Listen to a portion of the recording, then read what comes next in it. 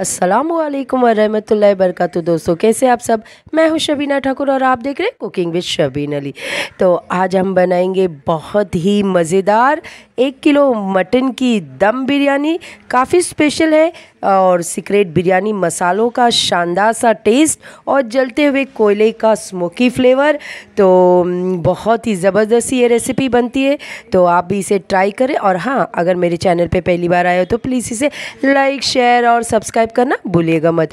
तो चलिए इस आसान सी रेसिपी की शुरुआत करते हैं। बिरयानी में जाने वाला सीक्रेट मसाला देख लेते हैं। तो ये जो कि हर घर में मौजूद होता है तो यहाँ पर हमने दो बड़ी इलायची दो बदियन का फूल तीन से चार दालचीनी के टुकड़े सात से आठ लौंग, वन टीस्पून साबित काली मिर्च, पाँच से छः हरी इलायची और इन तमाम चीज़ों को हम हमाम दस्ते में देखिए इस तरह से हम कूट डालेंगे, देखिए इस तरह से इसका, इसे कूट कर हमने यहाँ पर बना कर रख दिए हैं। और आप चलिए यहाँ पर हम कुछ इंग्रेडिएंट्स देख लेते हैं, जो कि बिरयानी में जाने वाले हैं। तो देखिए, यहाँ पर टू टेबल स्पून अदरक लहसुन का पेस्ट लिए वन टीस्पून शाही ज़ीरा, पाँच से छः हमने हरी मिर्च को दरबरा सा कूट लिए है, इसे लेंगे और वन फोर टीस्पून ये पिसा हुआ जायफल और जावित्री लेंगे। वन टीस्पून इलायची पाउडर वन टीस्पून हल्दी पाउडर और ये थ्री टेबल स्पून हमने लाल मिर्च लिए हैं, लाल मिर्च का पाउडर और ये गरम मसाला जो हमने दरबरा पिसे है, वो लेंगे। एक नींबू का रस दो ढाई सौ ग्राम के करीब हमने दही लिए हैं। मुट्ठी भर पुदीना के पत्ते, जायके के मुताबिक नमक चार आलू लिए हैं, इसके छिलका उतार कर इसके हमने बड़े चार पे, एक आलू के चार पीस बनाए हैं। और यहाँ पर ये यह हमारा होममेड बिरिस्ता है। हमने ये घर में बनाए, मेरे चैनल पे अपलोड है, आप जाकर देख सकते हैं। और ये हमने करीब पाँच से छः प्याज का बिरिस्ता बनाए हैं। और यहाँ पर दस से बारह काजू, दस से बारह बादाम लिए हैं। और यहाँ पर हमने चार से पाँच आलू बुखारा भी लिए हैं। तो सबसे पहला हम यहाँ पर चावल की तैयारी कर लेते हैं। तो यहाँ पर एक बड़ी सी हंडी में हमने ये चार लीटर पानी डाले हैं। दो दालचीनी के टुकड़े, तीन से चार हरी इलायची, हाफ़ टी स्पून साबित काली मिर्च, तीन से चार लौंग। और यहाँ पर ये वन टीस्पून तेल डालेंगे। इससे चावल आपस में चिपकेंगे नहीं और खिले खिले बनेंगे। जायके के मुताबिक नमक शामिल करेगा और इसे एक उबाल आने देते हैं। जब तक पानी उबलता है, हम गोश्त को मैरिनेट कर लेते हैं। तो यहाँ पर एक किलो के करीब गोश्त लिए हैं और इसे अच्छे से धोकर इसके मीडियम साइज़ के पीस बनाए हैं। तो सबसे पहले हम इसमें सारे इंग्रेडिएंट्स जो हमने पहले आपको बताए थे, इसे डाल देंगे। तो सबसे पहले हम यहाँ पर हल्दी पाउडर डालेंगे और देखिए हमने गोश्त के इस तरह से बड़े बड़े पीस बनाए हैं। तो इसमें ये लाल मिर्च पाउडर डालेंगे। और मिर्च आप अपने जायके के मुताबिक डालें, क्योंकि हम इसमें हरी मिर्च भी डाल रहे हैं। अदरक लहसुन का पेस्ट डालेंगे कुटा हुआ हरी मिर्च डालेंगे, और यहाँ पर जो हमने बिरयानी का सीक्रेट मसाला बनाए थे, इसे भी डाल देंगे। और यहाँ पर ये हरी इलायची पाउडर, नींबू का रस, जायफल जावित्री का जो हमने पाउडर बनाए हैं, इसे डाल देंगे। आलू बुखारा डालेंगे, और यहाँ पर आलू भी शामिल कर लेंगे। आलू बिरयानी में बहुत मज़े का लगता है, इसीलिए ज़रूर इसे शामिल करें। और तो यहाँ पर देखिए हमने ये जो बिरिस्ता बनाए हैं, इसे डाल देंगे। और थोड़ा सा बिरिस्ता हमने बचा के रखे हैं, बाकी सारा हमने डाल दिए हैं। दही को डालेंगे और इसमें जायके के मुताबिक नमक शामिल करेंगे। और यहाँ पर ये वन टीस्पून हम भरकर शाही ज़ीरा शामिल करेंगे। तो अब इसे इन तमाम चीज़ों को हम अच्छी तरह से मिला लेंगे। तो देखिए इन तमाम चीज़ों को हमने अच्छी तरह से मिला लिए हैं। अब इसमें ये मुट्ठी भर पुदीना के पत्ते शामिल करेंगे। इससे बहुत ही अच्छा फ्लेवर आता है बिरयानी में। आ, काजू डालेंगे बादाम डालेंगे और चुटकी भर शाही ज़ीरा भी शामिल कर लेंगे। और यहाँ पर ये एक कप भर कर हमने तेल लिए हैं। इसे डालेंगे ये वही तेल है जिसमें हमने प्याज का बिरिस्ता बनाए थे। और इसे डाल देंगे अब इसमें ये हम मुट्ठी भर कर बिरिस्ता डालेंगे। इससे भी बहुत ही अच्छा फ्लेवर आता है और इसे कुछ अच्छा बहुत ही अच्छा स्मोकी सा फ्लेवर देने के लिए हमने ये जलता हुआ कोयला डाल दिया और इसे 10 मिनट तक ढक कर रख देंगे। तो चलिए यहाँ पर ये जब तक हम इसे मैरिनेट होने देते हैं दस मिनट तक, आप चाहे तो इसे एक घंटा, दो घंटा भी रख सकते हैं। तो यहाँ पर चावल को देख लेते तो चावल देखिए, हमने एक किलो के करीब लिए, बासमती चावल है और इसे अच्छी तरह से धोकर दो घंटे के लिए भिगो कर रखे थे। से तो चलिए यहाँ पर पानी भी हमारा अच्छे से उबल गया है। इसमें हमने दो तेज पत्ता भी शामिल किए और जो हमने भिगो कर रखे थे बासमती चावल, इसे डाल देंगे। और इसे अब एक उबाल आने देते हैं। चावल में, यानी कि 40 परसेंट जब हमारा ये चावल पक जाएगा, तब हम चावलों की तय लगा देंगे। तो इसे हम अच्छी तरह से मिला लेते हैं एक बार।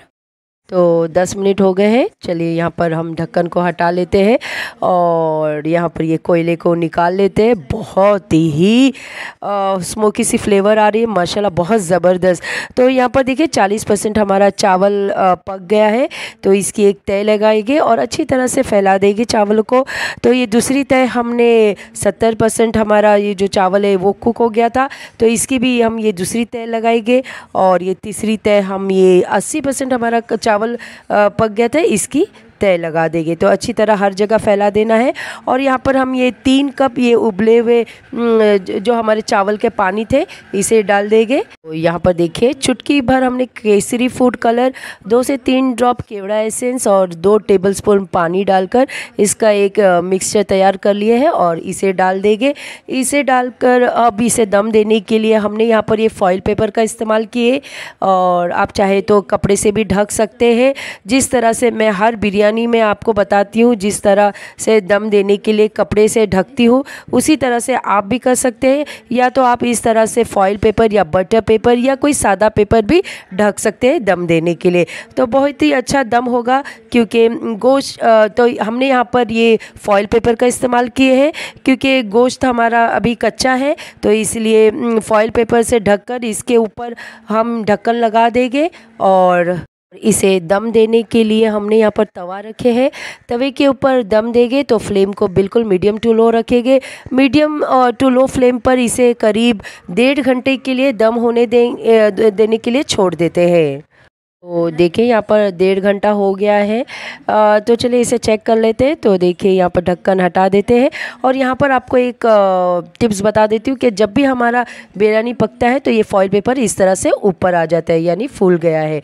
तो समझ जाइएगा कि हमारी बिरयानी बिल्कुल तैयार है। आ, तो इसे अब हम फॉइल पेपर को हटा देंगे और यहाँ पर बिल्कुल बिरयानी तैयार है। तो इसके ऊपर ये हम थ्री टेबल स्पून भरकर देसी घी डालेंगे। पाँच मिनट तक इसे ढक देंगे।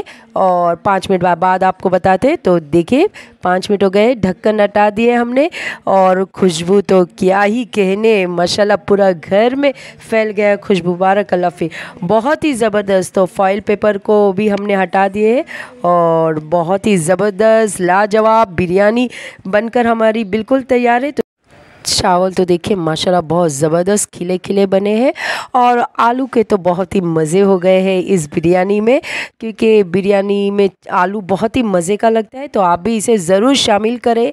तो यहाँ पर देखिए, चावल देखिए, माशाल्लाह बहुत ज़बरदस्त है। चलिए इसे अब हम सर्व कर लेते हैं। तो देखिए, यहाँ पर एक प्लेट लिए है और इसमें ये गर्मा गर्म हमारी जो बिरयानी तैयार है, खुशबूदार, मज़ेदार, इसे सर्व कर लेते हैं।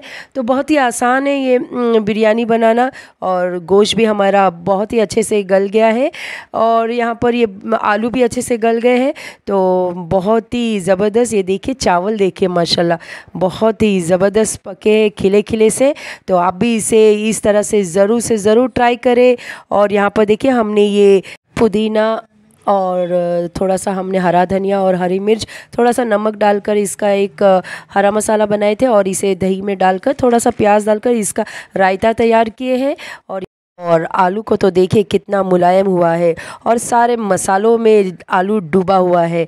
बहुत ही मज़ेदार और मटन देखिए बिल्कुल रुई की तरह, बिल्कुल सॉफ्ट और इसमें जो आलू बुखारे का टेस्ट, उसकी खटास आ रही है। बहुत ही शानदार सी लग रही है, बहुत मज़ेदार।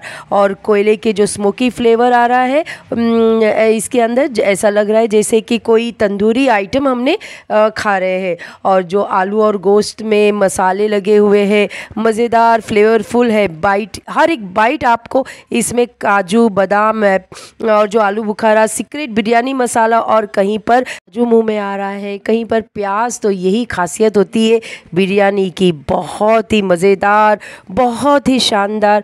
इतनी तारीफ़ सुनने के बाद अब तक रुके हुए तो जाइए जल्दी से इसे ट्राई कीजिए और मुझे कमेंट करके बताएँ कि आपको ये बिरयानी माशाल्लाह से बहुत कैसी लगी। अगर अच्छी लगी हो तो प्लीज़ इसे लाइक, शेयर और सब्सक्राइब करना भूलिएगा मत। तो मिलते हैं अगली वीडियो में एक और मज़ेदार रेसिपी के साथ। तब तक के लिए दुआ में याद रखिए। Take care. अल्लाह हाफिज़।